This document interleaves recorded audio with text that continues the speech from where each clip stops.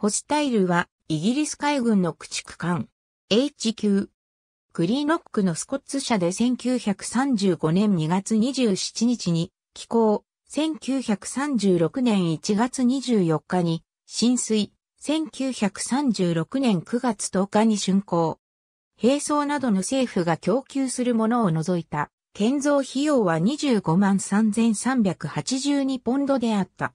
収益後、地中海艦隊の第二駆逐軍に配属。スペイン内戦中の1937年、ホスタイルは、不干渉委員会の布告を実施するためスペイン海域を巡回した。1917年11月17日から12月15日までジブラルタルでオーバーホールを実施。1938、1939年はまたスペイン海域での巡回に戻った。スペイン内戦の終結後、ホスタイルはシアネス工廠で修理を受けた。ホスタイルは地中海に戻り、マルタで第二次世界大戦開戦を迎えた。10月、軽部隊と共にドイツ通商破壊艦捜索に当たるため、ホスタイルはフリータウンに移された。ホスタイルと駆逐艦、ハーディ、ヘレワード、ヘイスティは12月17日に巡洋戦艦レナウン、空母アークロイヤル、軽巡洋艦ネプチューンと合流した。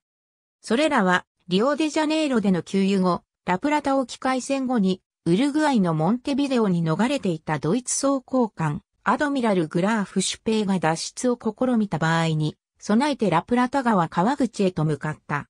ホスタイルは1940年1月26日から3月29日まで、チャタム交渉でオーバーホールを実施し、それから本国艦隊所属となっていた第二駆逐軍に戻った。4月10日の第一次、ナルビク海戦で、ホスタイルはドイツ駆逐艦ディーター・フォン・レーダーと交戦し、少なくとも5度命中弾を与えて大破させた。ホスタイルも一度被弾したが、損傷は軽微であった。ホスタイルは大破した駆逐艦ホットスパーをロホーテン諸島のフレークスタドヤに作られていた修理基地まで護衛した。ホスタイルは少しの間戦艦ウォースパイトを護衛し、それからロサイスに戻って4月27日から5月4日まで修理を行った。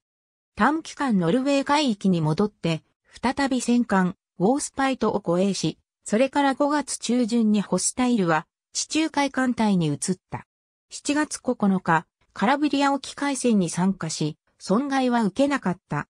8月22日、ホスタイル特駆逐艦ヒーロー、ヌビアン、モホークはジブラルタルへ向かい H 部隊に加わるよう命じられた。その途中の8月23日早朝、ホスタイルは、ボン岬沖で触雷し損傷。爆発により、ホスタイルの乗員5名が死亡し、3名が負傷した。